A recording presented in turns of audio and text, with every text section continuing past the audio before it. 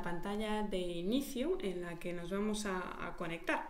Tenemos una visión general de la escuela, dentro de la cual de momento tenemos tres clases y los estudiantes. Desde aquí podemos conectarnos o bien con un perfil de estudiante o con el perfil de docente. Vamos a probar con un perfil de docentes. Lo primero que nos va a pedir es nuestra contraseña. La introducimos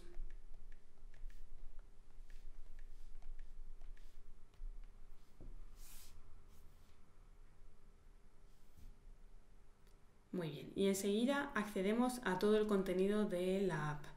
Nosotros como docentes tenemos acceso a todos los niveles sin restricciones. No es así el caso de los alumnos en los que eh, nosotros elegiremos el nivel en el que se encuentran.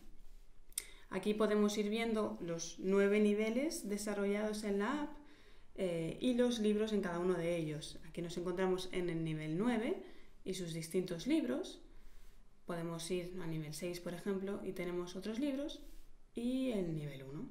Bien, como veis dentro de cada eh, nivel y sus distintos libros vamos a poder seleccionarlos pulsando sobre su imagen.